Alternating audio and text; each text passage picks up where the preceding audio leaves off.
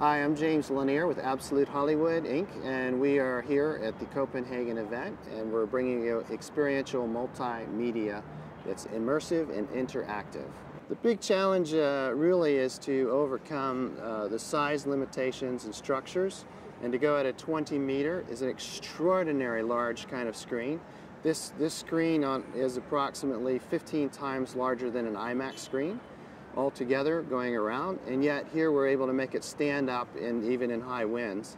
And after that, you get the technology issues of just how do we connect everybody. We bring them all into the picture, and we make it look like it's easy. It's a bit like magic. We have people who are working in London, in the Philippines, in Canada, in, in Brazil, and they can all work from home or from their offices and contribute to the event, which is also part of the global impact we're trying to talk about here. We are not all driving cars to offices and, and having big meetings everywhere and, and making more of an impact. We're actually having the lowest impact people in the world who just stay at home and they create the technology right there.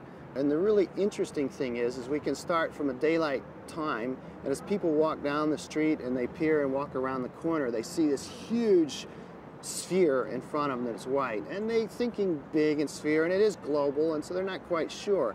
But it's already a picture-taking point, and it's just incredible how many people will actually take a picture to what us is not the finished product. She's just waiting to get dressed and put on the show, but she looks beautiful.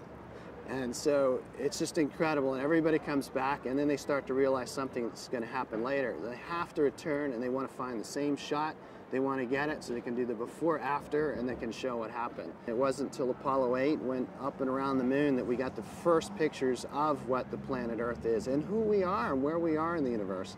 And as you'll see tonight, and the next night and the next night on a continuing basis throughout the show and now you'll see the planet as we see it from space.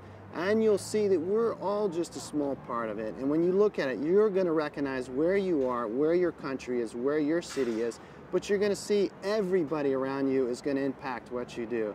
You'll see clouds drifting by and the, around the planet Earth, and it makes it, those clouds come your way, and you're part of it, and it spins around and you're back where you started.